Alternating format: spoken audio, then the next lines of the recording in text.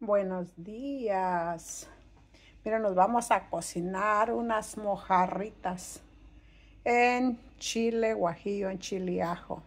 Y para eso ya tenemos aquí dos ajos, una cucharada de orégano, una cucharada de sal. Ponga sal al gusto. Vamos a estar poniendo media cucharada de aceite, pero media cucharada de la de, de guisar Así que tenemos por aquí tres mojarras, las partimos a la mitad, tenemos unas ramas de pasote y ahorita voy a, lavar los chiles y los voy a hidratar y los vamos a estar moliendo con los ajos, con la sal y el orégano, el pasote va entero. Ahora sí, ya los tenemos hidratados, vamos a poner los ingredientes para estarlos moliendo.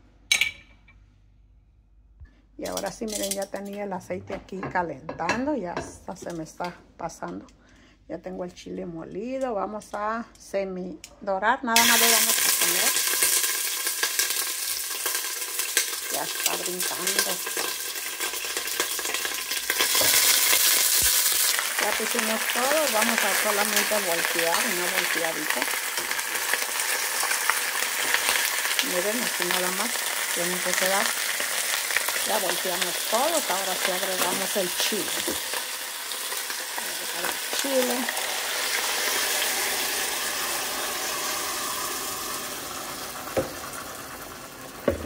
Vamos a agregar el ipazote.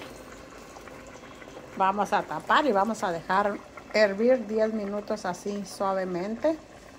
Y mientras me voy a hacer unas tortillas para servirnos un plato. Y ahora sí, ya hicimos aquí las tortillas, ya por aquí tenemos más. Ya tenemos un plato listo y miren, esto está hirviendo, esto está bien, bien, bien bueno. Ya me imagino las gentes que saben, que son de rancho, que saben lo que son las mojarras. Pero en chile rojo es chile, no es caldo, este es chile. Está bien, bien bueno. Chile ajo, miren aquí vamos a echarnos medio así que nos vamos a servir también la colita solamente la partimos para que se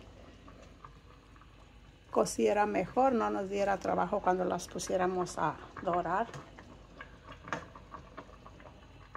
Y aquí tenemos el platito ya servido. Esto se come con limón ese ya es el gusto, pero recuerden todo el pescado se come con limón. Ya tenemos aquí las memelitas tostaditas como a mí me gustan.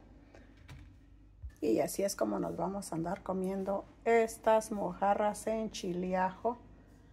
Así que acompáñenos, ayúdenos a compartir. Por ahí andamos poniendo las fotos, comidas y recetas sabrosas. Saludos para todos los grupos que me andan ayudando. Y llegamos a los 70 mil, así que les quiero dar las gracias a todos por todo ese apoyo y esa ayuda que me dan. Muchas gracias.